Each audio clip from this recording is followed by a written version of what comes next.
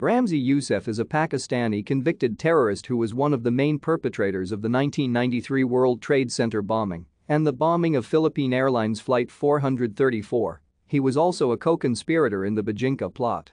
In 1995, he was arrested by the Pakistani Inter-Services Intelligence and U.S. Diplomatic Security Service at a guest house in Islamabad, Pakistan, while trying to set a bomb in a baby doll, then extradited to the United States. He was tried in the U.S. District Court for the Southern District of New York along with two co-conspirators and was convicted of planning the Bojinka plot. He received two life sentences plus 240 years for his part in the 1993 World Trade Center bombing and Bojinka plot. Yousef's maternal uncle is Khalid Sheikh Mohammed, with whom he allegedly planned the Bojinka plot.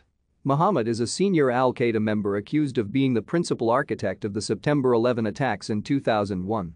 Yousef is serving his life sentences at ADX Florence, located near Florence, Colorado. Thank you for watching.